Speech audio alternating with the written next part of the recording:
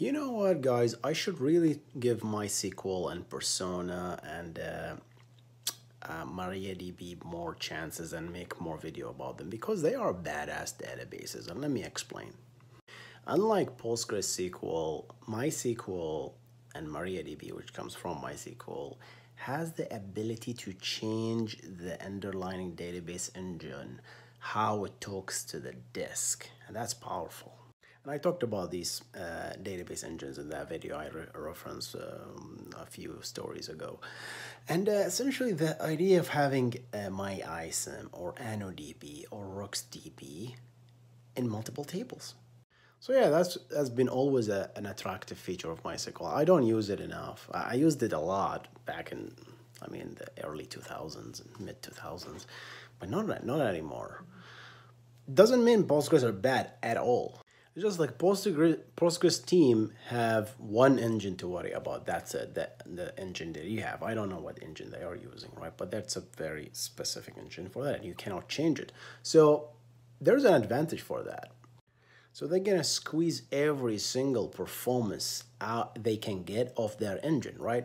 All the use cases, they know the engine they're working on, they're gonna squeeze all the performance with that.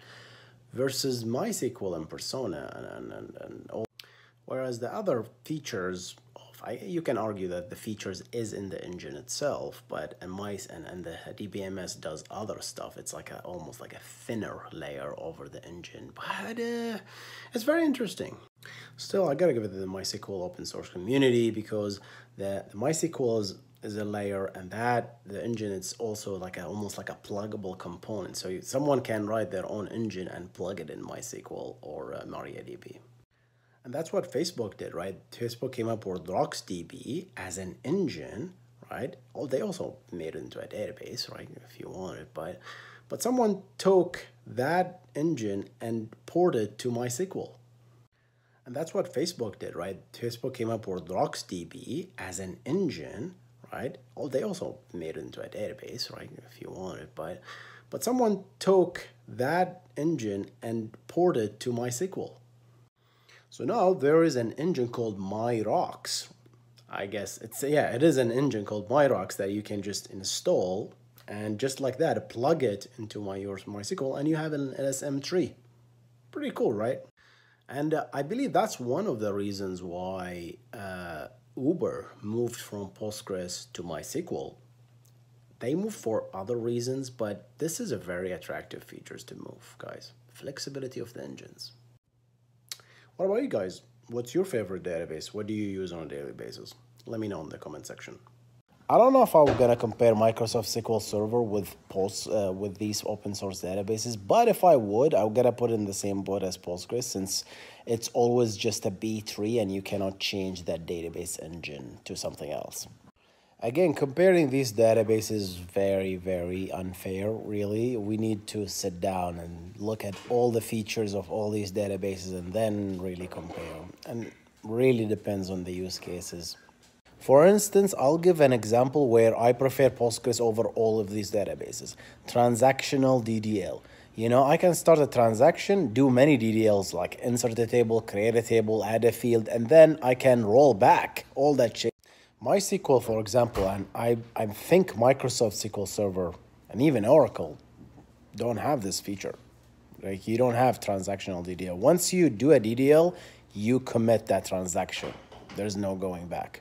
Exactly, that's correct, right? And uh, let's talk about that for a, little bit. And uh, DDL and DML is has always been a core property of any database. So DDL stands for Data Definition Language. Things like create table, things like alter table, things like create database, things that define your schema. While DML stands for Data Modification or Manipulation Language, which means insert statements, insert into, update, delete. You're manipulating the data.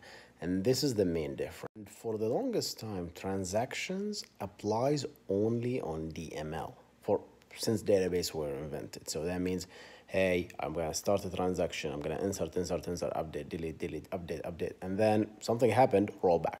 However, DDL were never on almost any databases. They are not transactional. That means if you're doing an insert statement and then you're doing a create table, that uh, trans that query that you did will auto commit.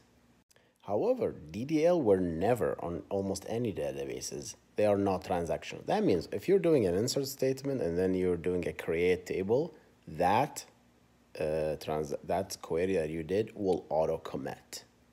That could lead to undesired behavior, right? Because if you insert a few rows and in a transaction and then you created a table which commits everything and then you violated some referential integrity and you think you rolled back, but no, all of this thing got committed.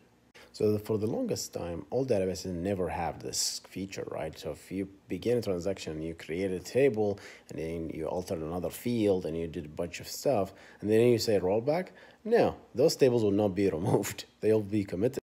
The only database that I can think of, and guys correct me if I'm wrong, Postgres. Postgres supports transactional DDL, transactions with DDL, not just DML. Obviously, every database supports uh, transactions with DML.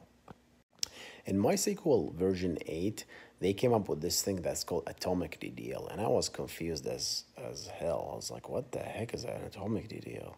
And I looked up, and it's not what you think, obviously. So atomic DDL, in a nutshell, if you have like a create statement and you say create table T1, T2, T3, T4, and let's say T4 has a problem with it, you, you fail to create it, all those tables will not be created. That's it the key is have you have to have it in a, in a single statement, right? You cannot do like create table semicolon and then create table three semicolon. And you can use alter table. No, that will not be atomic DDL. That's the only difference I can tell, which is to me it's, it's useless.